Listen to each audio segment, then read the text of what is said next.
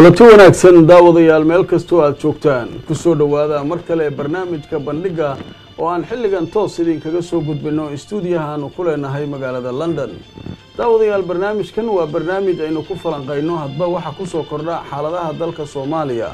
Qodobada aan barnaamijka idinkugu hayno waxaa ka mida arrimaha ku saabsan magaalada muqdisho oo dibadbaxyo ay ka dhaceen iyadoo dadka ay ka cabanayaan in lacaga baada in laga qaado loo soo jeestay. Gaadiidleyda ayaa mudaaharaad ka sameeyey. Dad badan oo guryo ku leh magaalada muqdishona cabasho badan ayay muujinayaan iyagoo ka cabanaya maamulka degmooyinka ay degan yihiin oo lacago ay sheegeen in ay ka qaataan dadka iyo ganaaxyo aan loo meeldayin dadka lagu sameeyo haddaba cabashada dadka oo aada u soo xoogeysatay waxa ay keentay hanti dhowrka qaranka iyo garyaqaanka guud ee dowladda. Labaduba inay shir jaraa'id qabtaan oo ay kaga hadlaan in dadka dhibaatada lagu hayo laga daayo. Haddii ay sii socotona dadka falkaa samaynaya ay iska horkeenayaan dowladda iyo shacabka.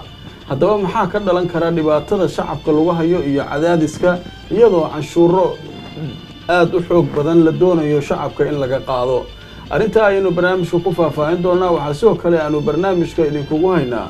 Doorashooyinkii halkee bay marayaan. Guddiga doorashooyinka oo sheegay in ilaa afarta disembar ay bixin doonaan shahaadooyinka xildhibaanada la soo doortay ay siinayaan. Iyagoo markaasi sheegay kadibna in loo dhaqaaqi doono howlihii ku saabsanaa doorashooyinka. Inkastoo weli aan laga hayin maalin ay ku tilmaameen in la dooran doono madaxweynaha. War ka soo baxay madasha qaran sida la sheegay ayaa lagu bogaadiyey guddiyada doorashooyinka heer federaal iyo heer gobol waxaana sidoo kale lagu baaqay in sida ugu dhaqsiyaha badan loo soo dhammaystiro ee xubnaha xildhibaanada noqonaya. Xilli puntland ay joojisay ama hakisay in hawshii ay ka socoto deegaanada puntland gaar ahaan magaalada garowe oo doorashooyinkii la hakiyey. Haddaba arrimahaas ayaanu barnaamijka si weyn ugu faahfaahin doonaa. Barnaamijkeenna waxaa marti noogu ah aqoon-yahan soomaaliyeed oo reer londana oo lagu magacaabo maxamed nuur qalimow isaga ayaa barnaamijka nagala qeybgeli doonaa daawadayaal waa mar kale iyo barnaamijka bandhigga.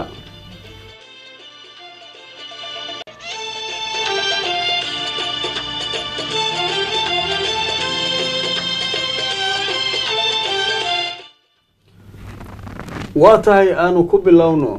Shalay magaalada muqdisho waxaa shir jaraa'id ku qabtay garyaqaanka dowladda soomaaliya iyo hanti dhowrka qaranka.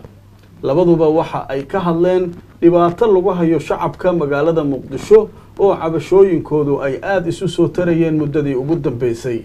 Shacabka waxaa isugu tegay ciidamo loo adeegsanayo in dadka lacago baada laga qaado. Guryaha qaar waa la tegayaa dadka lacago ganaaxa ayaa laga soo qaadayaa waa la iska xirayaa qaarkoodna guryaha canshuuro iyagoo bixiya ayaa mar kale haddana laga qaadayaa dhibaatada shacabku ay qabaan oo ay aada ula qaylinayeen ayaa waxaa ku darsoomay gaadiidleyda oo shalay iyana banaanbaxyo dhigay oo dhibaato sameeyey. Haddaba arrintaasi waxay keentay in dowladda garyaqaankeeda iyo hanti dhowrkuba ay u hiiliyaan shacabka iyagoo ku eedeeyey kuwa doonaya inay shacabka iyo dowladda iska horkeenaan inaanay wax sharciyada u haysanin dadka inay dhibaateeyaan. Haddaba warbixin ku saabsan shirka jaraa-id ayaan barnaamijka ku bilaabaynaa oo ay soo gudbinayaan wariyaasheenna magaalada muqdisho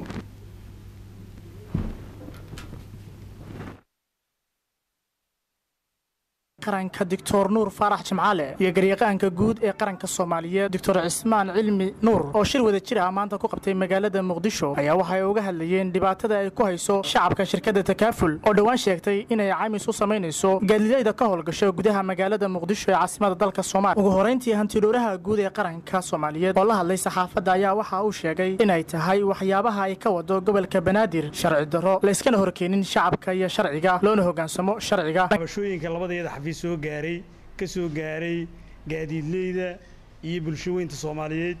Innagu labadeeda xafiis waxaanu ka digaynaa oo hay'adaha dawliga ah iyo hay'adahaan dawligaan kaga digaynaa in aan shacabka iyo dowladda la iska horkeenin. Shacabka iyo dowladda inaan la iska horkeenin in aan shaqaaqooyin iyo mu'aamarada la abuurin. Sharciga hay'adaha dawliga ah iyo hay'adaha aan dawliga ahayna shuruucda dalka u degan in aan la baalmarin wixii aan sharci ku fadhinna in ay yihiin xadgudub ayna tahay in la joojiyo si dhaqso ah. Waxa weeye waddanku wuxuu leeyahay shirkad ama hay'ad insurance uu leeyahay. Shirkaddaasi waxay leedahay hanti maguurto ah shuruucdii lagu dhisay baana hor yaalla oo cad sharci marka la samaynayo hay'ad cusub la abuurayana. Waa in sharcigii hore sharci lagu beddelaya la abuuraa oo sharcigaas sharciga kale nasakhaa laakiin haddii sharci horuu yaallay laba ruux ama hay'ad dowladda ka socda iyo hay'ado kale oo ganacsataha inta meel ku kulmaan inay yidhaahdaan waxaan abuurnay shirkad sidaasaan abuurnay dadkana qofkii aan lacagtaa bixin waa la xirayaa. Waxa weeye sharciga lagu tumanayaa dowladda iyo shacabkii baana la isku horkeenayaa ka kale waxaa isna ka hadlay goobta garyaqaanka guud ee qaranka soomaaliyeed mudane cismaan cilmi nuur oo isna sidoo kale sheegay inay tahay waxyaabaha ay ka wadaan gobolka banaadir tahay waxyaabahan sharciysnanin arrinta saaka dhacday waxaan rajaynaynaa arrintaas inay meeshaa ku ekaato ilaa laga bedelo sharcigaasne in aan caymiska sidiisa loo daayo dadku sidiisa loo daayo haddii ilaah yidhaahdo waxaan intaa raacinayaa waxaa jira waxaana soo gaaraya xog xafiisyada aan mataqaan madaxda u nahay in canshuuro la qaado. Laga qaado gaadiidka laga qaado guryaha laga qaado ganacsatada. Canshuur waxaa lagu qaadi karaa sharci. Canshuur aan sharci lahayn cid qaadi karta ma leh. Marka dadka madaxda ka ah degmooyinka waxaan ku wargelinaynaa in aan degmooyinkooda laga qaadin canshuuro aan sharciga waafaqsanayn oo aan la garanayn meesha ay gelayaan la garanayn. Waxaan mataqaanaa xog nagu soo gaarayo in guryaha dhirir loo cabiro yacni taariikhda meelay ka dhacday male sharci loo cuskanayana ma jiro.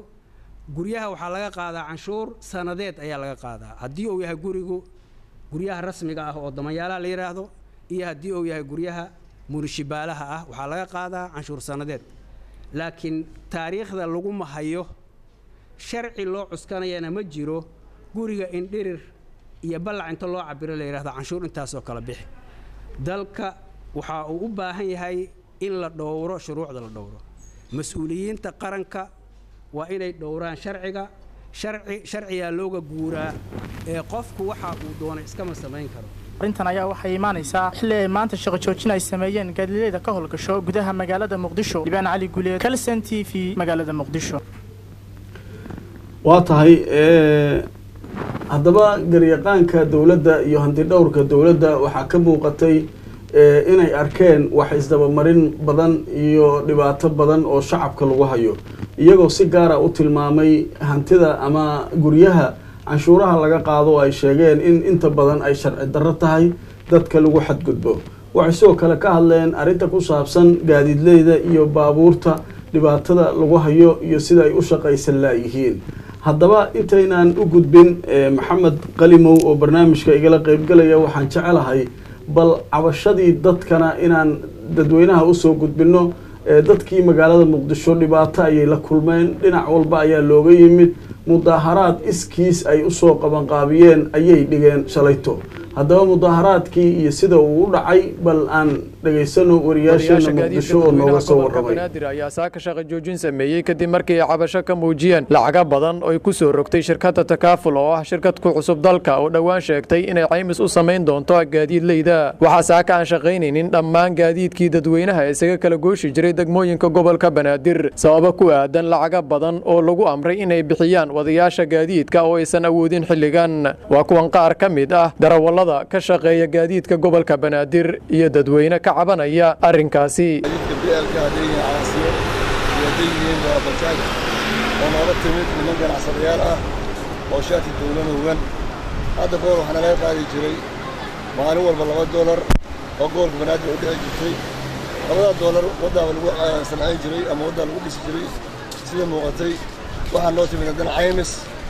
Waxaa ka horreeyey niman la yidhaahdo tramanistan oo ayagana qaataan saddex bilood kasta afartan toddoba doolar iyadana culays bay nagu ahayd waa qaadanay. Haddana waxaa noo timid lixdan oo caymis la yidhahdo oo ganacsatada wadato oo ay u adeegayaan niman hawan dowladda dareeskeeda marka dowladda shalay waan u dacwoonnay xafiisyadooda waa tagnay fiish traafikaan tagnay meel walba oo dowladda ay qusayso arrimahaas gaadiidka waa u tagnay. Wax jawaab oo na qanacsanana nalama siinin soo korortay lacag takaaful la yidhaahdo oo caymis oo shakhsiyaad ganacsato ah samaystay oo damacsan gaadiidka si dadban in lacagta gaadiidka loogu aruuriyo ay bengigooda ay ku shubtaan. Taasaan ka soo horjeednaa maanta gaadiidka aasiga ka shaqeeya xamar toban kun iyo laba boqol habbo waayo. Ugu yaraan siddeed kun ayaa garaashyadoodii maanta ku wada xarootay. Gaadiidka annagaa iskale waxaan nahay mas'uuliyiinta gaadiidka bajaajkan sidoo kale waa xaroo